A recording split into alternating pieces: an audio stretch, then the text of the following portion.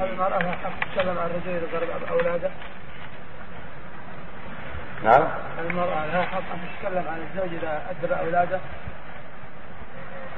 لا بأس أن تدخل في الموضوع إذا كان الزوج يسرف في الأدب وليس عنده بصيرة في الأدب لكن بحكمة بأسلوب حسن بعبارات حسنة لا بالغلظة والشدة ولا بالأساليب التي تسبب فراقه لها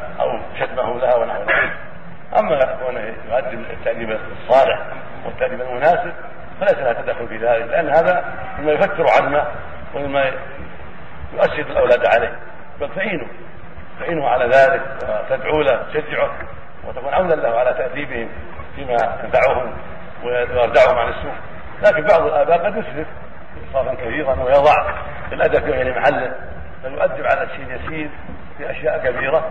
إذا دخلت في هذا الحال في وجه صالح وبأسلوب حسن لا يثيره ولا يثير الأولاد عليه بل يكون بأسلوب حسن أو في وقت آخر في غير وجود الأولاد في وقت آخر يكون أسلم وأحسن. إلا اللهم إلا يكون شيء كبير لا يتحمل فلا تدخل بحضرته لكن إذا أمكن أن يكون تدخلها في غير وجود الأولاد في وقت آخر بينها وبين خاص تقول لك كذا وتقول لك كذا ويا فلان كذا ينبغي الرفق بهم وينبغي أن يكون الأدب بصفه كذا. من باب النصيحة والتعاون على الخير فلا بأس.